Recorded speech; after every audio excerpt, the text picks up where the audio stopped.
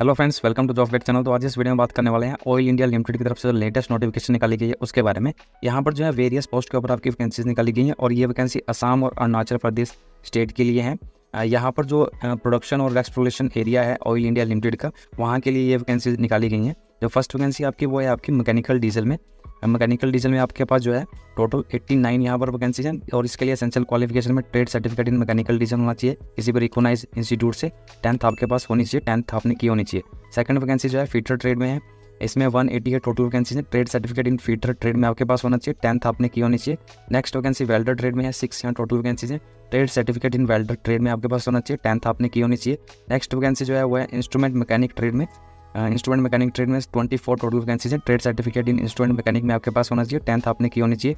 Next vacancy जो है वो इलेक्ट्रीशियन ट्रेड में है। थर्टी टू टोटल वैकेंसी है। Trade certificate in electrician trade में आपके पास होना चाहिए। टेंथ आपने की होनी चाहिए। आपके पास जो है वैलिड इलेक्ट्रिकल वर्कमैन परमिट ये जो है परमिट होना चाहिए। Issue by government electrical licence board तभी आप इस एप्लीकेशन के लिए अप्लाई कर सकते हैं। नेक्स्ट वैकेंसी जो है वह इलेक्ट्रॉनिक्स मैकेनिकल ट्रेड में थर्टीन टोटल वैकेंसीज हैं। Trade certificate in electronics mechanic trade में आपके पास होना चाहिए। टेंथ आपने की होनी चाहिए। Next vacancy mechanic motor vehicle में है। टेन टोटल वैकेंसीज हैं। Trade certificate in mechanic motor में आपके पास होना चाहिए। टेंथ आपने की होनी चाहिए। नेक्स्ट वैकेंसी आपकी सर्वेयर ट्रेड में है। थ्री टोटल वैकेंसीज हैं। Trade certificate in surveyor trade में आपके पास होना चाहिए। टेंथ आपने की होनी चाहिए। Next vacancy trade certificate in I T and E S M में। या फिर I C T S M I T trade में है। टोटल सेवन वैकेंसीज हैं। ट्रेड सर्टिफिकेट होना चाहिए I T and E S M में। I C T S M में या फिर आई टी में।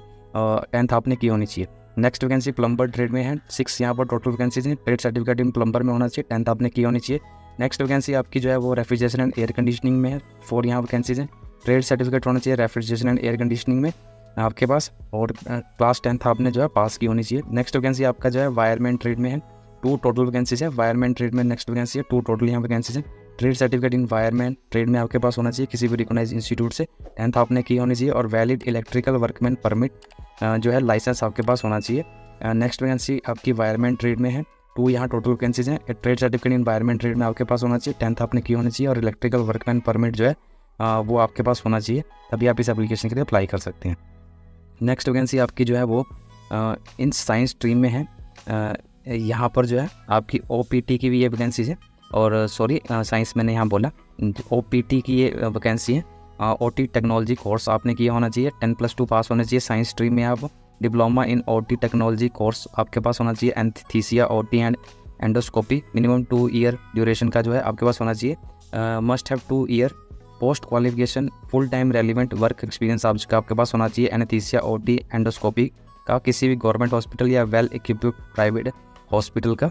थ्री यहाँ पर टोटल वैकेंसीज हैं आपकी। इसके बाद next vacancy E F A की है एमरजेंसी एंड फ़र्स्ट एड की वैकेंसी चाहिए टेन प्लस टू पास होना चाहिए। साइंस में आप डिप्लोमा सर्टिफिकेट कोर्स होना चाहिए आपके पास एमरजेंसी एंड फ़र्स्ट एड का मिनिमम टू ईयर ड्यूरेशन का आपके पास जो है ये सर्टिफिकेट होना चाहिए और मिनिमम टू ईयर का आपके पास जो है पोस्ट क्वालिफिकेशन एक्सपीरियंस होना चाहिए हॉस्पिटल या फिर वेल इक्विप्ड प्राइवेट हॉस्पिटल का। थ्री यहाँ टोटल वैकेंसीज है।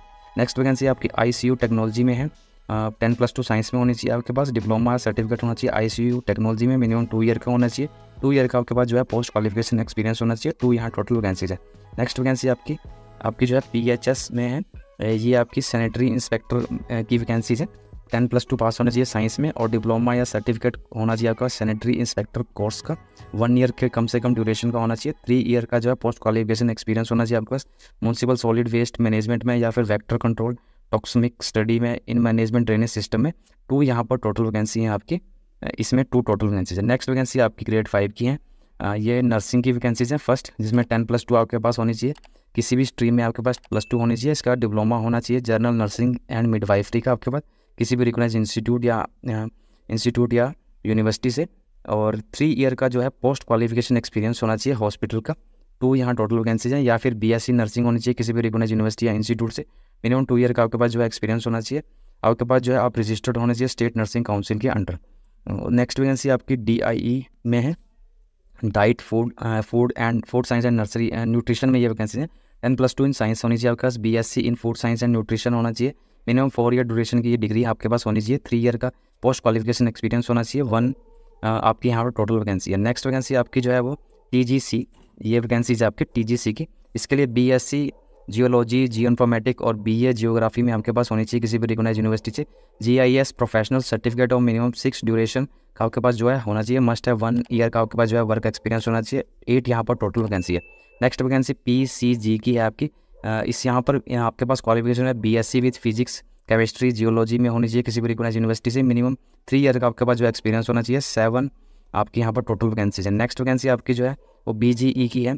यहाँ पर आपके पास B S C geology major में होनी चाहिए, किसी भी रिकोगनाइज यूनिवर्सिटी इंस्टीट्यूट से। डिप्लोमा सर्टिफिकेट होना चाहिए कंप्यूटर एप्लीकेशन का मिनिमम सिक्स मंथ ड्यूरेशन का ये जो है आपके पास होना चाहिए। और मस्ट है थ्री ईयर का पोस्ट क्वालिफिकेशन एक्सपीरियंस होना चाहिए आपके पास। सेवन यहाँ पर टोटल वैकेंसी यहाँ निकाली गई है। इन वैकेंसीज को जो है वो कैटेगरी वाइज भी डिवाइड किया गया है, जिससे आप चेक कर लेंगे नोटिफिकेशन में। नोटिफिकेशन में चेक कर लेंगे रिज़र्व रिजर्वेशन को। मिनिमम आपकी जो है वो एटीन ईयर्स होनी चाहिए। और इसके अलावा जो एज लिमिट है वो अलग अलग वैकेंसीज़ के लिए अलग अलग है, जैसे M D L F T R W L D I M C A C L A M E A M A इन सभी के लिए आपकी thirty three total maximum age limit O B C के लिए है थर्टी फाइव जो है maximum age limit S T के लिए है एस सी के लिए, किसी में थर्टी है, किसी में थर्टी फाइव है, ये आप जो है चेक कर लेंगे। जनरल कैंडिडेट्स के लिए थर्टी ईयर जो है वो मैक्सिमम एज लिमिट रखी गई है। इसके अलावा जो ग्रेड फाइव की वैकेंसीज है, उसमें थर्टी टू और थर्टी वन जो है maximum age limit general candidates के लिए है। इस नोटिफिकेशन में आप जो है अपनी जो एज लिमिट है उसको चेक कर लेंगे। अगर आप किसी रिज़र्व कैटेगरी से बिलोंग करते हैं, तब जो एप्लीकेशन फ़ीस यहाँ रखी गई है आपकी एप्लीकेशन फ़ीस दो मिनट हम चेक कर लेते हैं कि आपकी एप्लीकेशन फ़ीस यहाँ कितनी है। एप्लीकेशन फ़ीस जो यहाँ रखी गई है, वो है आपकी टू हंड्रेड रुपीज़ अगर आप general O B C category से बिलोंग करते हैं तो टू हंड्रेड रुपीज़ आपकी एप्लीकेशन फ़ीस है यहाँ पर। अगर आप S C S T E W S person P W B D या एक्स सर्विसमैन कैंडिडेट्स हैं, तब आपको किसी भी तरह की कोई एप्लीकेशन फ़ीस यहाँ पे नहीं करनी है। जनरल और ओबीसी कैंडिडेट्स को टू हंड्रेड रुपीज़ यहाँ एप्लीकेशन फ़ीस पे करनी है। जो लास्ट डेट रखी गई है इस एप्लीकेशन के लिए अप्लाई करने की, वो है आपकी तीस जनवरी। तीस जनवरी 2024 तक जो है वो आप इस एप्लीकेशन के लिए अप्लाई कर सकते हैं। तीस जनवरी 2024 इस एप्लीकेशन के लिए अप्लाई करने की लास्ट डेट है। इस नोटिफिकेशन का लिंक मैंने आपको डिस्क्रिप्शन बॉक्स में प्रोवाइड करवा दिया है। वहाँ जाके आप इस नोटिफिकेशन को डिटेल में चेक कर लेंगे। तो आज की वीडियो में इतना ही। वीडियो अच्छा लगे तो लाइक शेयर और चैनल को सब्सक्राइब करना ना भूलें। Thank you and have a nice day